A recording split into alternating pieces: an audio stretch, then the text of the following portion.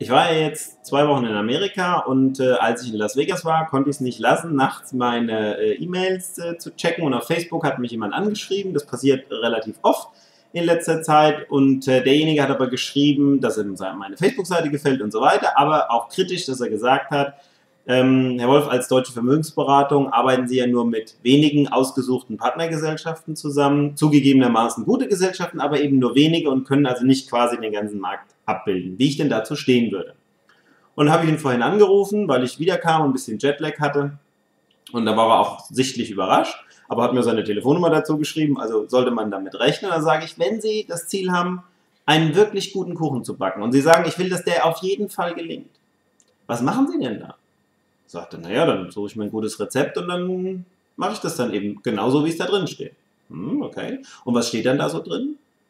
Ja, was weiß ich, sagt er, so und so viel Eier, so und so viel Milch, so und so viel ähm, Zucker und so und so viel, was weiß ich was. Mhm, okay, und sonst steht da nichts drin. Sagt er, wie, was meinen Sie denn?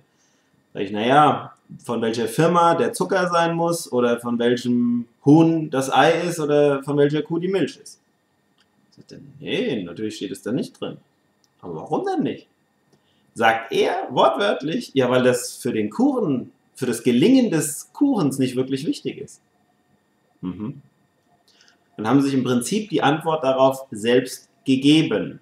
Wir brauchen nicht drüber sprechen, glaube ich, dass eine gewisse Qualität wichtig ist. Aber so ist es eben auch beim Vermögensaufbau.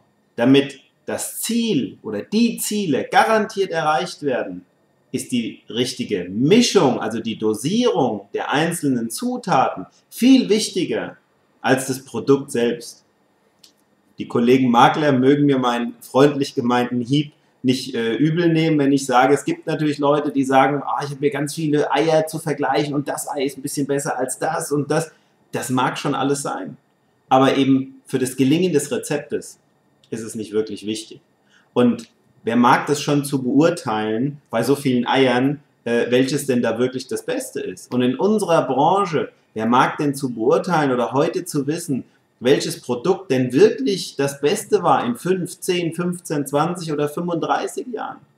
Weil wir wissen doch heute überhaupt nicht, welche Entscheidungsträger in fünf Jahren äh, eingestellt werden. Also das Entscheidende, damit du zu deinem Ziel kommst, ist die richtige Rezeptur.